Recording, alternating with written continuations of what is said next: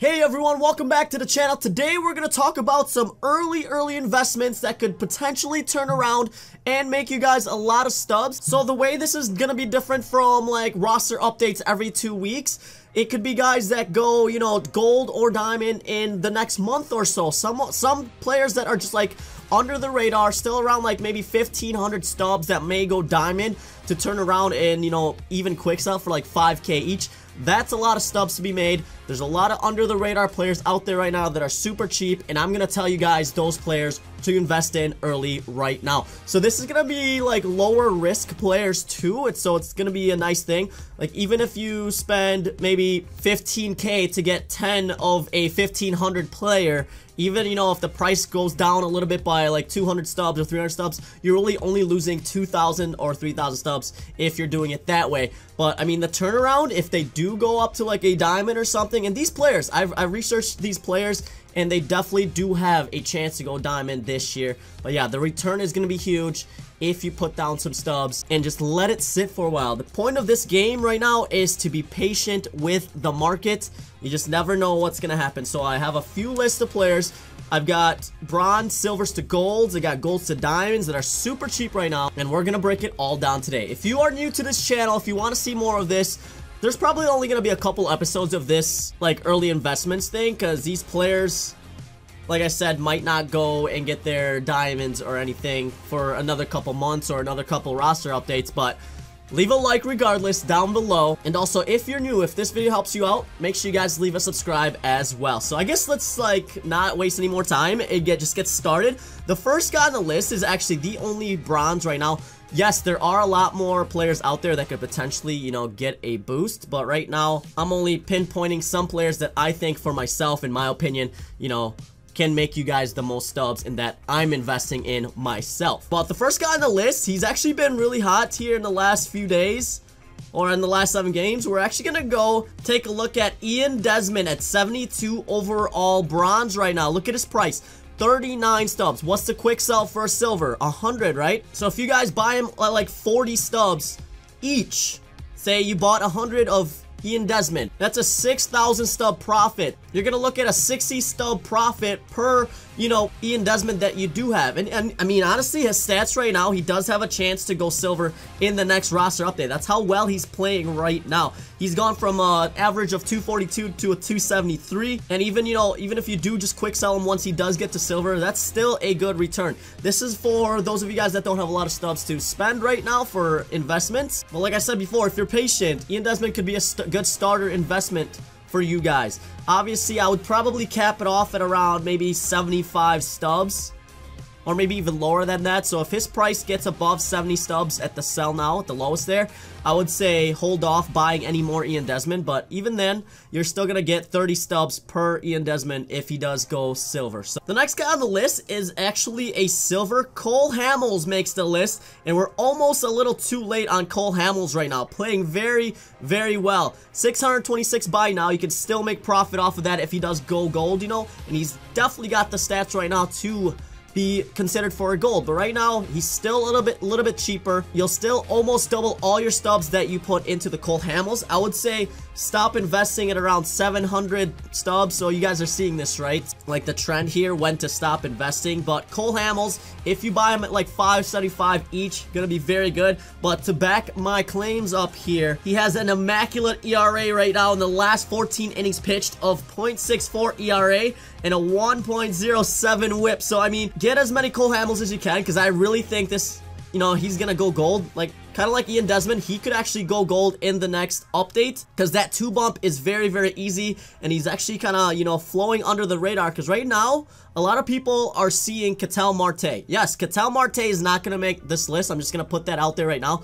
because he's a little bit too expensive already. So, but Cole Hamels flying, kind of flying under the radar. You're going to make a lot of stubs. You're going to double your stubs almost here with Cole Hamels if you invest right now. But stop investing around like the 700 range, maybe 750. If you guys are buying more than 750, you're kind of just, I think, spending too much on Cole Hamels right now. So, but the rest of these players on this list are going to be all golds to diamonds, potentially golds to diamonds, right? And this is where you're really going to make a lot of your stubs. But a lot of these players, for a lot of these guys, you're going to have to have to put down a lot of stubs on here. Spend at least 15, 20k on some of these players. You can pick and choose if you want. You can invest in all the players that I tell you today, but this is where you're gonna make a lot of your stubs. So the first guy on my list is actually Yasmani Grandal, fellow Milwaukee Brewer right here. I'm a Milwaukee Brewers fan. You guys already should know that. But Grandal is having one of his best seasons ever. He just got a boost from, I think, 81 overall to 83 in the last roster update. So it might still be a couple updates left for Yasmani Grandal. That means he still has to continue playing well. But right now, he definitely has. He's, you know, on the projection to go up. And look at his price, 1,177. I have 20 of him currently because I do have that much faith in Yasmani Grandal potentially going diamond this year. And I mean, you guys can look up the stats this year, right? He doesn't have the best blocking. 91 fielding, that does not mean blocking. He actually has pretty good fielding. Arm is going to stay probably at around 68, 70 area, but blocking might actually get like a little bit lower there. But at 75, I think that's pretty modest for him, but his hitting stats are amazing right now. This is another one of those where it's a low risk investment because even if he does go down back to like 80, he's still going to be a quick sell of 1,000, right? So if you're buying him from around 1,500, you're not going to lose a lot of stubs from Yasmani Grandal if he busts. He's got 15 home runs this year. Like I said, he's probably going to crush his home run totals. He's, he's probably going to hit over 30 home runs this year. And for a catcher, that's huge. Another thing that sticks out about Yasmani Grandal is that he's walking a lot. I mean, he's got 95 discipline, so they already do know that. 50 vision, he's almost walking more than he is striking out. So vision could still get a little bit of a bump there. He's batting a 274 average, and he's already an 83 overall. So, Yasmani Grandal, pick him up for 1,200. My rule of thumb, honestly, with these golds that are potentially going diamond, you can buy them all the way up to like 3,500 stubs and still turn a huge profit for each one that you pick up. So, that's going to be our rule of thumb, right? From gold to diamond, stop buying at around that 3,500 range. Because then, if you're buying at 3,500 and then he doesn't go diamond, then that's when you start to really lose a lot of your stuff. So just be careful with that and don't go don't go too overboard with it. I'll probably stay around. I'll probably pick up like 20 more Yasmani Grandals. And once I have 40, I've spent maybe about 50k to get the 40 for Yasmani Grandal. But once that turns into a 5k quick sell, oh my goodness. That's going to be 200 plus thousand stubs in my pocket. And that's going to be fun by the end of the season because we're gonna keep getting great cards like right for like our headliners and stuff so but next guy on the list let's go a little bit quicker. I'm getting too you know too talky here. Next guy on the list he's a little bit more expensive. We got xander Bogaerts. Still a little bit cheaper another 83 overall 2225 stubs right now but still cheap right now, right? My rule of thumb is 3,500. Maybe set it a little bit lower, say 3K. But Xander Bogaerts, 2,225 stubs, huge last seven here. 360 average in his last seven. He's got 14 home runs on the year, so for for a shortstop, too, he's showing some good power. You're still going to be able to double your profits with Xander Bogaerts as well. So if he continues to keep, you know, his average up, get a little bit more home runs, you'll see a little bit more contact, a little bit more power. He's got decent speed already. Fielding is a little sus, but only a 2 bump for the Xander Bogaerts. Let's see. They give him plus 13 on his righties. And that gets him up to an 85 overall. So another player to watch. Maybe just hold for a little bit. Buy right now. And then you can see, you know, more than of a double of a profit if you guys pick up Xander Bogaerts. Alright, this one's more probably of a probable diamond. He's already got his Topps Now card, right, as a diamond. Ryu at 82 overall. I don't think he got a, a, boost in the last one, but I mean, look at these stats. Compare the two. He's at 90 diamond in his Topps Now right? He's already got the velocity. If his home runs per nine go up a little bit, hits per nine, K's per nine, everything goes up a little bit, you're going to see a Ryu and you're going to see double on your stubs. This is the one that I think might be going very soon as well. Honestly, could be considered the best pitcher in 2019 right now. Three earned runs in his last eight games. So huge stats for Ryu. I don't think I need to talk about Ryu much more. You guys probably already know the hype surrounded around him. But honestly, right now, he's very, under the radar, very cheap right now. So start stacking up on Ryus, okay? So we are going back to back players that have done very well in the last month. We've got Josh Bell, who's a fresh, fresh gold, right? But 81 overall, Josh Bell still playing well. He's got 20 home runs on the season. We already know that. 319 average. Super cheap right now, 1,180. Could be a guy in the next couple months that you're to see a diamond, especially after the All-Star games. If he can continue to stay hot after that, wow, lots of stuffs to be made. I don't think there's anyone that's swinging the bats better than Charlie Blackmon. 80 overall gold, used to be a diamond. Right now, he is the talk of the MLB, right? Oh my goodness.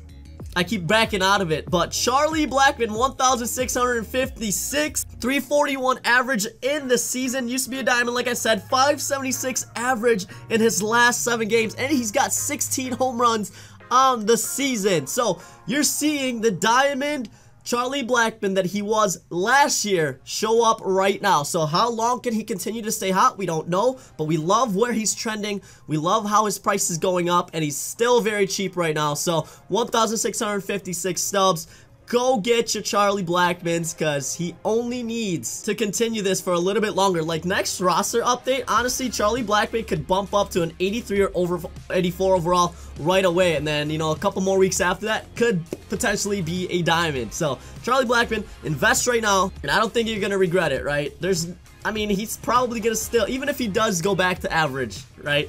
He's still probably going to have a 30 home run season and he's already got high contact and high vision, so you know he's gonna hit well. Next on the list, another guy that's a little bit more expensive, and he was actually my pick to go diamond last time around, but he's still, you know, on that diamond radar here very, very soon. We've got Zack Greinke, only 2,466. We saw his price spike up all the way up to around 3,500. So even if you want to sell at the 3,500, you're still going to see a 1,000 sub profit for every Zack Greinke that you pick up. Another one where I have 30 of him and hoping for a good return once he does go diamond and he's got the numbers for it. We're seeing the diamond 2016 zack Greinke right now and he went from I think an 83 overall all the way to an 84 so next couple roster updates if he continues to play well you're gonna see definite a definite diamond here. I don't see why not.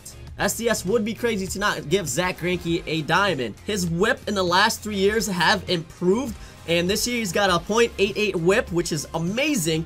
Never really been a strikeout guy, so you're not going to see a high K's per 9 from him. But hits per 9 definitely can go up more. Home runs per 9 definitely, so he's looking, like I said, he's looking better than his 2016 Diamond card. So I expect a good return from this Zack Greinke. And you guys can still pick him up right now at a good price of 2,466. So we're coming down to the wire here. We've got one more player to show you guys for now. Like I said before, there are a lot of more different players out there that do deserve a look, but we've got the 83 overall lefty fireballer, Brad Hand. And I think he's actually super under the radar right now. Brad Hand, big strikeout, guys. So you see the 99 K's per nine. He's already got that. He only needs a little bit of a boost to honestly go to a diamond. And at 1,405, that's huge profits, as you guys can see. 0.75 whip, a .88 ERA this year. 83 overall already. I don't think I have to say much more. This is another one that's low on on risk with huge upside when he does go diamond, right? So just continue to play, pitch well, Brad Hand. You guys are going to see a diamond Brad Hand. And potentially, even if he doesn't go diamond, potentially a guy that can be up around the 3,000 stub range, 3,500. So at 1,405, those are still great profits even if he does not go diamond. Even the hype itself. People are always looking for, for investments and people watch baseball. They know who's hot. They're going to start to notice Brad Hand and that price is going to go up. And that, you know, that can go for all the players that I mentioned today, right? Like Zack Greinke, everyone is, is already starting to see that, but still, these guys are super under the radar, very cheap right now. Go get your stubs, make some good investments, and hopefully I can make you guys some stubs along with making myself some stubs too. So Thank you guys so much for watching today. That's going to be it for today. Let me know your top investments down below as well. I will do a roster update prediction here. Usually I do it on Mondays before the Friday roster update, so you'll be expecting that as well. Thank you so much for watching today, guys. I'd appreciate the likes. I appreciate the subs. And as always, I'll catch you in the next one.